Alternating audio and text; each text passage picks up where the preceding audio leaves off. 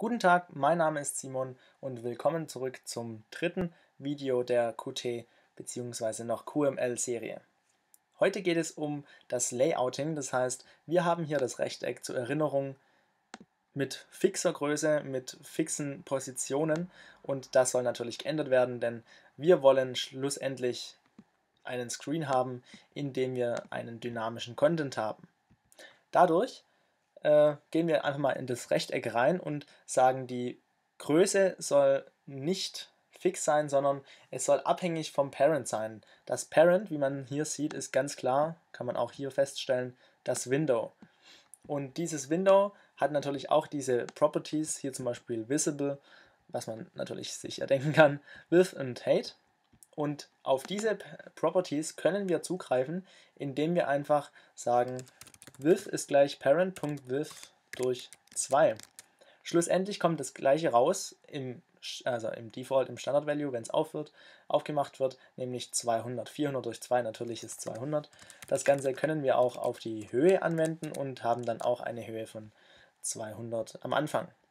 So, jetzt, wenn wir das Ganze größer und kleiner ziehen, sehen wir schon die Veränderung, aber mh, hm, es passt noch nicht so richtig, weil natürlich die x- und y-Positionen immer noch fix sind.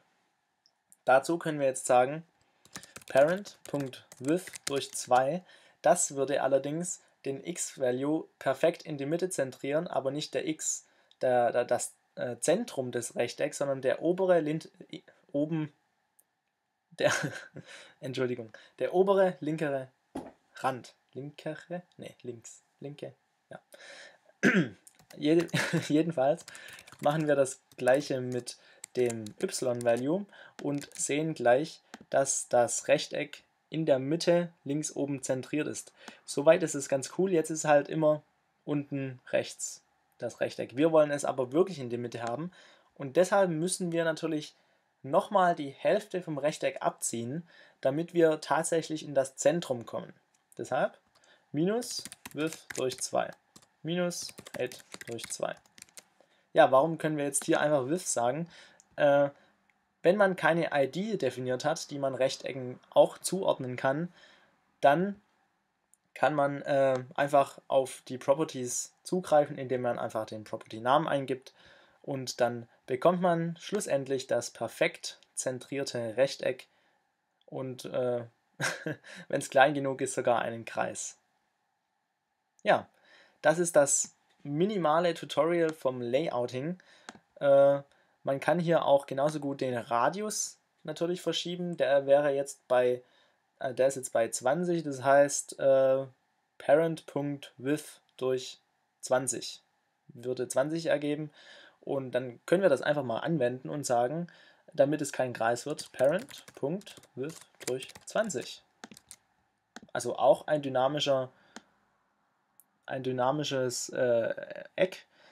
Das heißt, man bekommt immer ein gleich abgerundetes Rechteck, je nach Größe und ja, je nach Höhe und Breite des Parents. Ich habe ja eine ID angesprochen und diese ID kann man verwenden, wenn man nicht vom Parent aus zugreifen will oder kann. Denn es kann vorkommen, dass man irgendein anderes Rechteck hat. Wenn man hier zum Beispiel ein zweites Rechteck erstellt, dann äh, hat es natürlich nichts mit dem oberen zu tun und wir können nicht durch Parent auf dieses Rechteck zugreifen. Deshalb gibt es sogenannte IDs, gibt es eigentlich überall und hier können wir einfach sagen rect1 als ID und somit können wir jetzt auf dieses Rechteck mit der ID rect1 zugreifen. Das ist interessant. Genauso gut könnten wir theoretisch das Window mit einer ID versehen, was dann äh, folgendermaßen aussehen würde. Wir könnten das, äh, die ID root zuordnen und dann hier nicht sagen parent.with, sondern root, root, root, root und root. Und wir sehen im Endeffekt den gleichen Effekt. Im Endeffekt den gleichen Effekt? Ja. Wir sehen das gleiche Resultat mit unterschiedlichen Werten bzw. der Zuweisung der ID. Ja, das war Layouting 1 zumindest. Nächstes Mal äh, sage ich noch ein bisschen was dazu und dann geht es auch weiter mit der eigentlichen Struktur, denn wir haben bis jetzt überhaupt nicht die Struktur von dem Projekt angeguckt, was ein bisschen, naja, man, nee, ist nicht unsauber. Wir kümmern uns schon noch darum. Ich wollte einfach mal am Anfang direkt einsteigen, weil ich finde, das macht immer am meisten Spaß, wenn man direkt einsteigt und dann Learning by Doing betreibt. Das war's für heute. Vielen Dank fürs Zuschauen und ich freue mich, wenn es euch gefallen hat, schreibt einen Kommentar oder gebt einen Daumen nach oben. Ich würde mich freuen. Bis zum nächsten Mal. Tschüss.